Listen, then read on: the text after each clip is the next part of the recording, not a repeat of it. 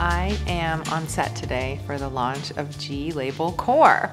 Core is our idea of a seasonless collection that would work really well from office to soccer game to cocktail to dinner.